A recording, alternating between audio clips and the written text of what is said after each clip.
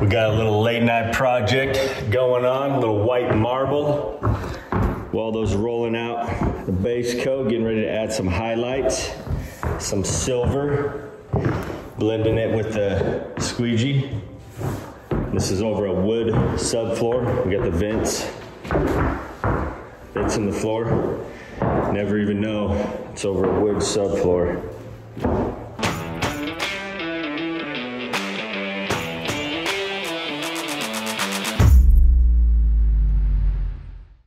All right, guys, so I got a little bit of our prep replacement rolled out. I'll kind of go through the process of what we're gonna be doing here. So it's a wood subfloor. Um, it's really stout, tongue and groove, nailed down really good. We checked for any loose spots. Um, and this area was painted with probably a Kilz primer. So we're using our prep replacement primer just on this area because we couldn't get it all up. Just started gumming up the sander and stuff. So we just knocked down any wood chunks or burrs that were sticking up. I've already started rolling the prep replacement out. Once we get this down, we're gonna take our patcher paste and we're gonna scratch coat the whole floor and that's gonna fill in all our seams, our nail hole, holes, and it's gonna create a really nice solid surface to put our epoxy on.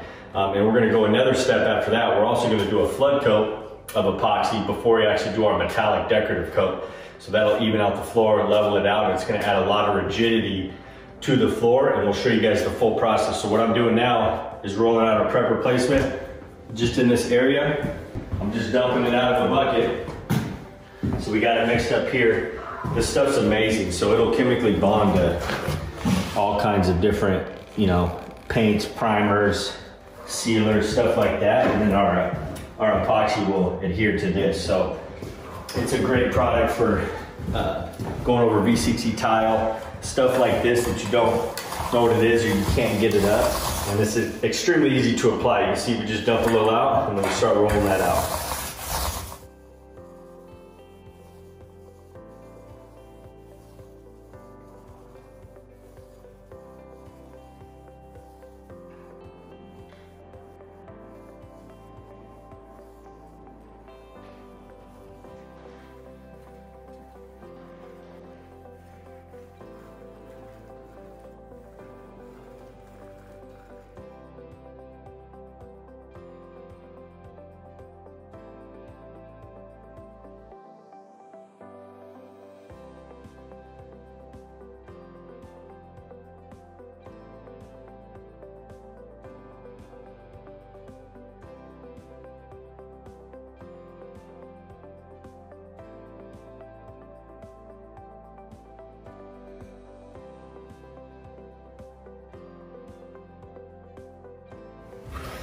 Can see it goes, goes really far. And this will dry. We'll be able to coat over this in probably 20 minutes. Just an amazing product for anytime you need to get a really good bond of different substrates.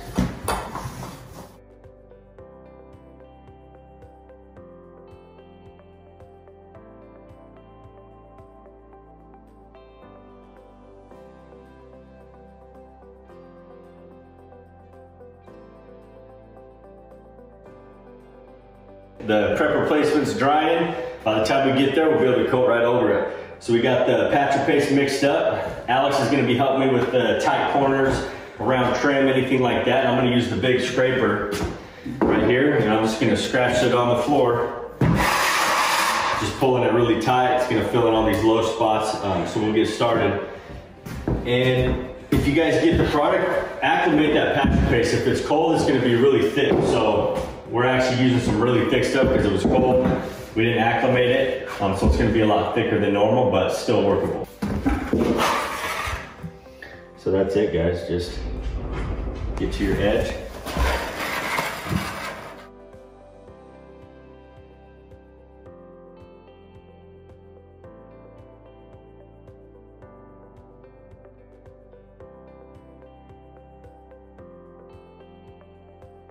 See how it's filling in all the spots? And we have a few gaps here. We wanna make sure we get everything filled in. So I might hit it two different directions. Just like that, now it's filled in. You can see we have a low spot here in the wood. So I'll get a little product. And we're gonna go crossways on it. That's gonna help us fill in low spots in the floor. I just wanna make sure that I'm not leaving any high spots or ridges anywhere that we have to sand. And, and we'll go tomorrow. Usually you'll have some spots that you might need to buzz down, but the better you scratch coat the floor, the less work it is the next day.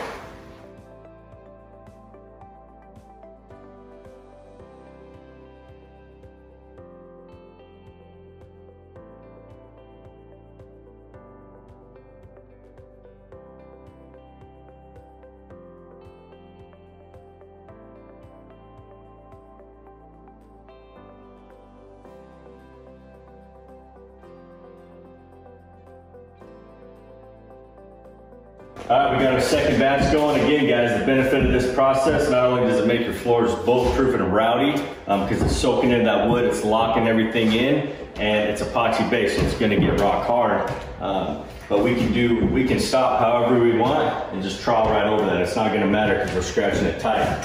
So you can see like the low spots in the wood, we got a high high difference in the wood here, low. This is help filling all that in. Um, and by the time we get done with this coat, do our flood coat, we're gonna have a basically nice flat floor to do our final decorative metallic coat. This is gonna look absolutely beautiful. So again, we're just scratching it tight. This is our second batch. And it'll go a lot faster out here. We had a lot of spots we had to get inside there. The, the pantry area really tight. So this is more open. We'll be able to go a lot faster out here.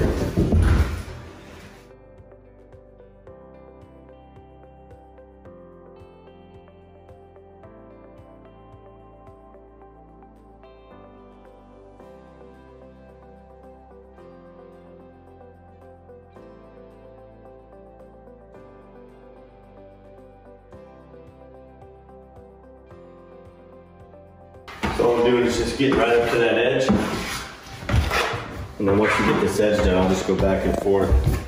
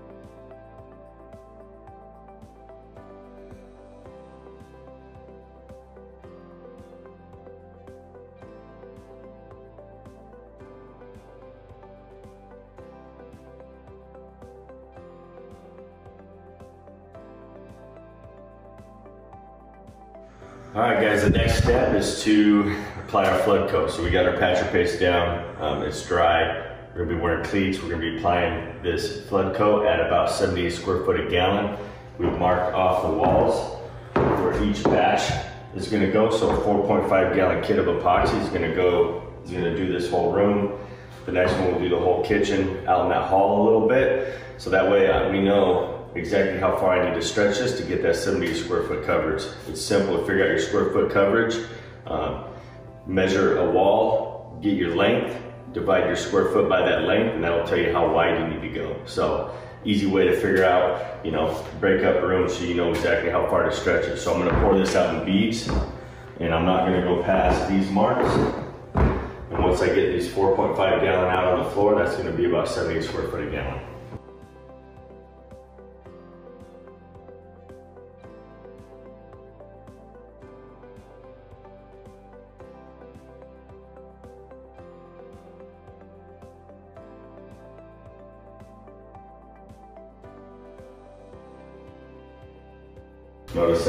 Pretty even amount of beads poured out. He doesn't have really thick ones and skinny ones.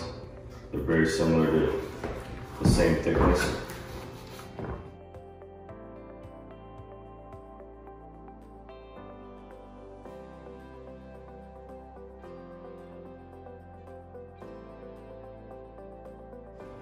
So now I'm just gonna start troweling those back and forth. I don't wanna trowel it.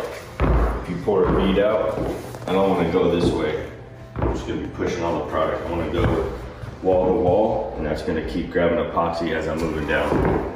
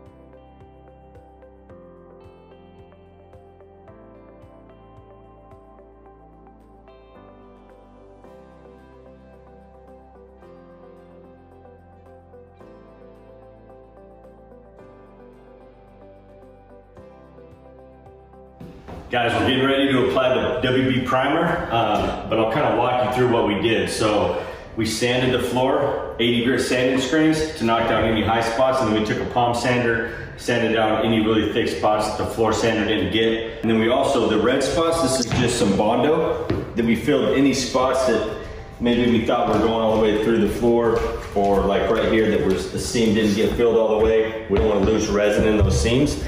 So we went, went around, filled any of those spots. And then we, we didn't scratch this correctly with the patcher paste. We went across it like this so it didn't fill that in. So we did Bondo here as well. We sanded it first, cleaned it, and then we applied the Bondo. Um, really easy way to fix any spots that you might have missed. But other than that, you can see like right here, this is a really low spot. Patcher paste filled that amazingly. Filled that in good. And again, we sanded it. Then we vacuumed it. I blew everything into corners. Everything, any leftover dust or debris on the floor, blew it into a corner. And then uh, we vacuumed that up. And then we took just a plain rag and some denatured alcohol, mopped the floor real quick to get it nice and clean. So now we're gonna be applying the WB Primer white because we wanna get this floor a nice bright white color before we apply the white uh, epoxy down. All right guys, so we're applying the primer. Alex is doing the edges with the nine inch roller. So he's gonna go around and hit all the edges for me. I'm gonna take the 18 inch roller.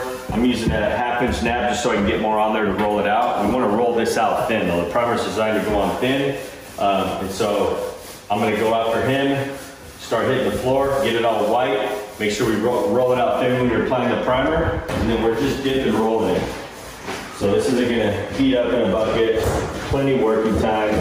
And once this is rolled out, it's a fast cure primer. So once it's rolled out thin, it's gonna dry extremely fast.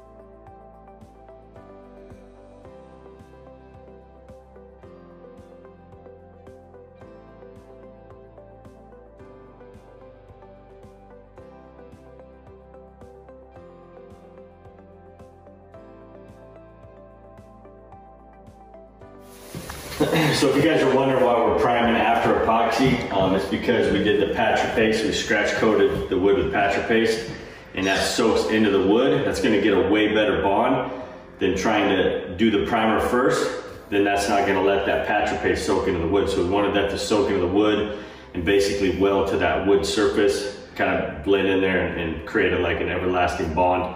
Um, so that's why we're doing primer now versus before. If you guys aren't doing patcher paste or a flood coat like this, a lot of guys will just do primer, epoxy, top coat over wood. So they'll fill all their seams with Bondo and then they'll come in, they'll prime it, and then they'll do their epoxy, and then they'll do their top coat. So this one's a little different. Uh, they wanted to do a little rowdier of a, a coating over the wood subfloor than just doing the typical Bondo your seams, priming, epoxy. So that's kind of why we're priming now instead of before. So we're getting ready to put down the epoxy coat, the basically the decorative coat. Uh, we're gonna be doing a base coat of white, and then we're gonna be adding uh, silver metallics and blending those with the squeegee.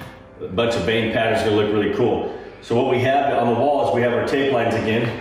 So I know, the wall by the fireplace, and then right here on the counter, so this first batch, 4.5 gallons, is gonna do 202 square feet, which comes out to about here, all the way down. So I don't wanna stretch this past that. That's all gotta stay on this half. And then when we get our next batch, it's gonna go to that next tape mark. It'll basically do this whole section in the middle. You, you'll kind of see the process as we go. You'll kind of might make more sense to you, but I'm gonna start with the first section, get the white all the way rolled out, and then Alex is gonna bring me highlights so I'm not waiting.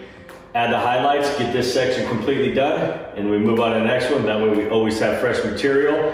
You never wanna try to do the whole floor, a large floor like this, um, doing the base coat and then doing your highlights because it's gonna set up on you. So we do it in sections just like this. So I got my product here. We don't wanna leave this in a bucket longer than it needs to be. So I'm gonna start dumping it out.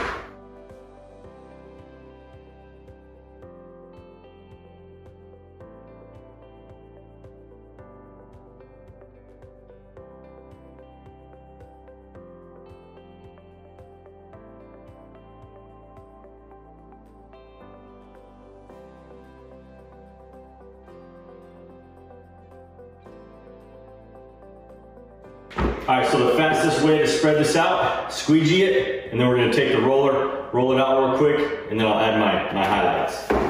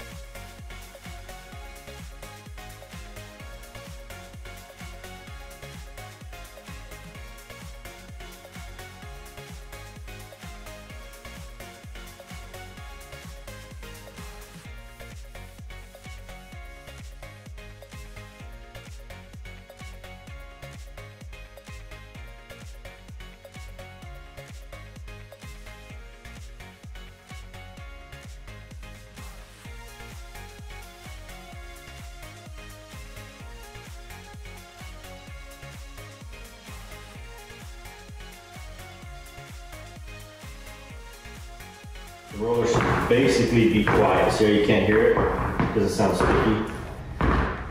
If you start hearing a sticky sound like it's really sticky, like if I were to roll out here, that means it's too thin in that spot and you want to get some more product there.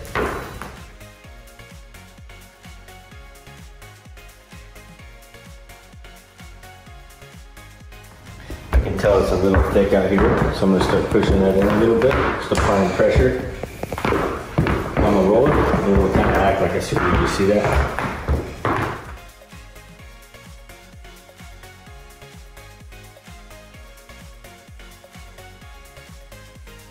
So I'm getting ready to apply the highlight, so Alex is gonna start mixing up my next section of white.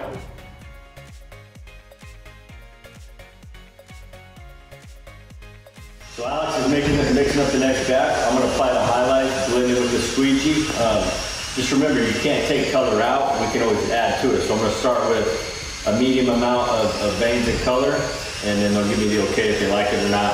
I'll continue on. Best thing to do, make samples, get the look that you want, and then recreate that on the floor instead of just trying to wing it on a job. So to do the veins, I'm just gonna drizzle it off my paint stick, and it looks like this. Just random directions, okay? I don't wanna have any vein going the same direction over and over.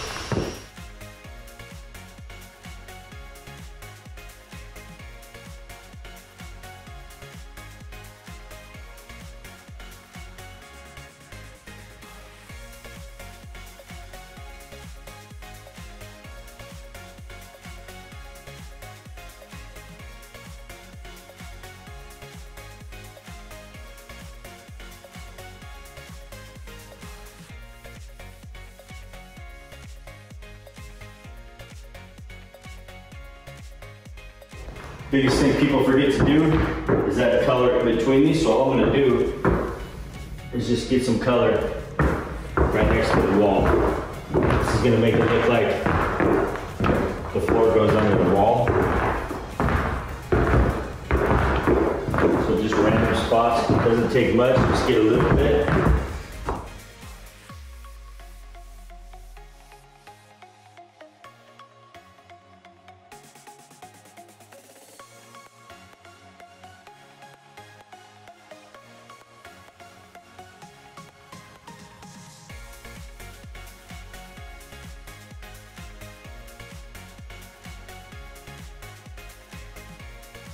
I just want to blend them enough to where it doesn't look like a squiggly line.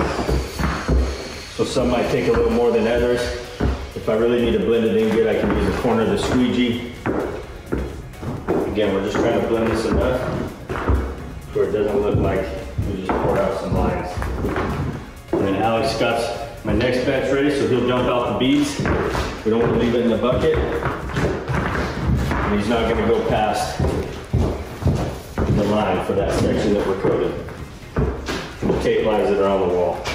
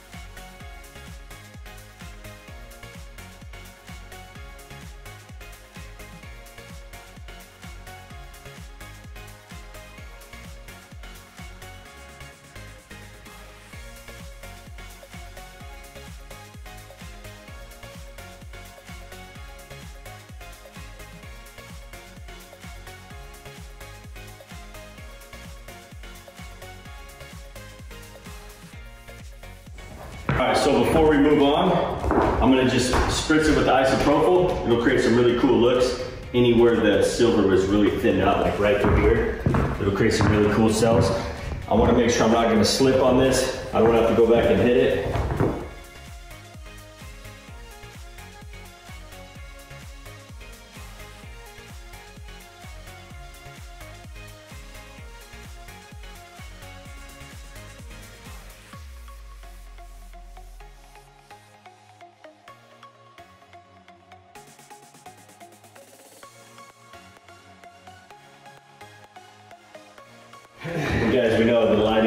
Greatest, um, but this is kind of what we have to work with, and we wanted to show you guys this process. So just bear with us on that. All right, so I got my next batch poured out. So what do I want to do? I want to squeegee this all out, roll it, apply the highlights, and just continue that process all throughout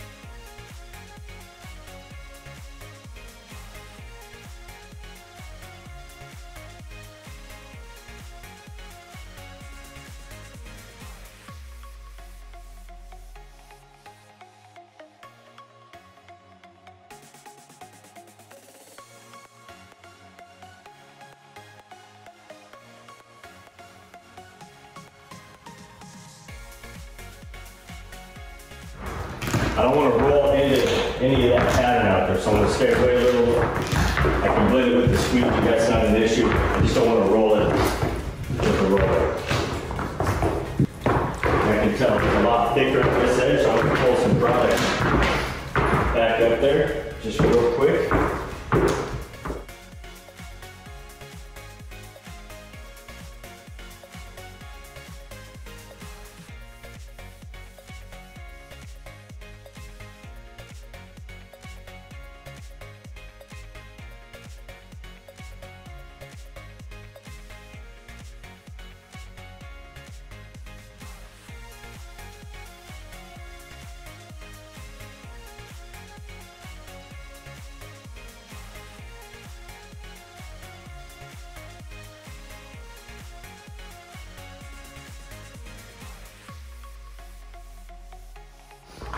I'm gonna apply the uh, highlights the same exact way, but I wanna make sure I'm getting highlights in between all the ones that are touching this floor. So I'm gonna start, get one right here, get one right here,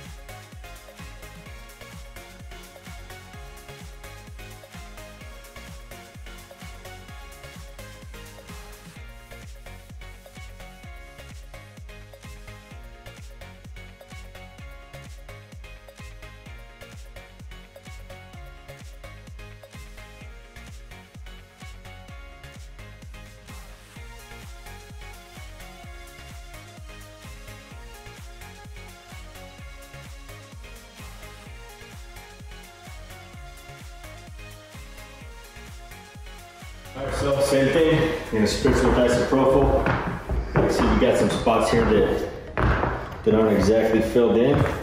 If you see those, just help fill those in a little bit before you spray.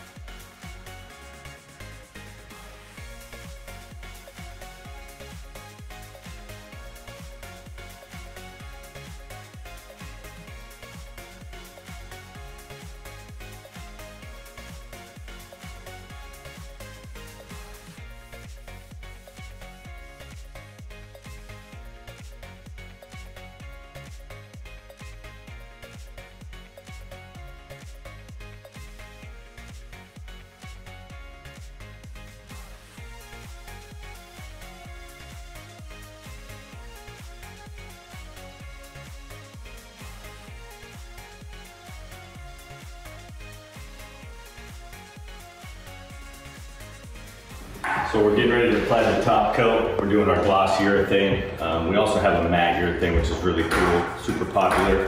Um, but we're gonna be using the roller tray, dip and roll. It's not gonna set up in the bucket. We have plenty of working time with this. Um, so Alex is gonna get my edges going with the nine inch roller and a paintbrush in spots you can't get. And then I'm gonna take the 18 inch roller and we're gonna go wall to wall. And you guys are kind of see the process, but it's relatively simple. We're gonna do the same thing as we did on the epoxy coat and out the front door. So we'll get started and show you guys how to do that.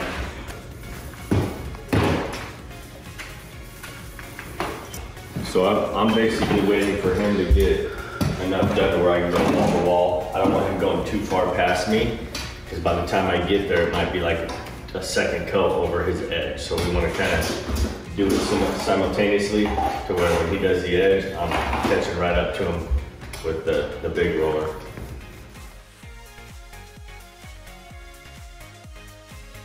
Always want to start in the middle